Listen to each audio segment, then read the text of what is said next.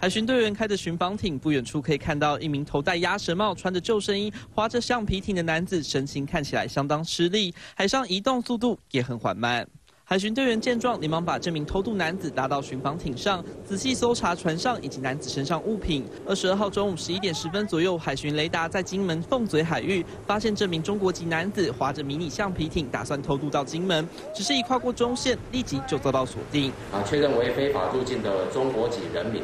啊，立即予以逮捕，并当场实施体温量测以及清洁消毒之后。啊，带回廖罗港侦办。金门从十七号开始，一周内接连发生三起偷渡案，频繁查获，也让国安单位相当重视。相关人员研判，中国福建海域禁渔期在十六号就已经结束，加上近日中国对渔船出海放宽，疑似有不少人蠢蠢欲动，想趁机进行偷渡。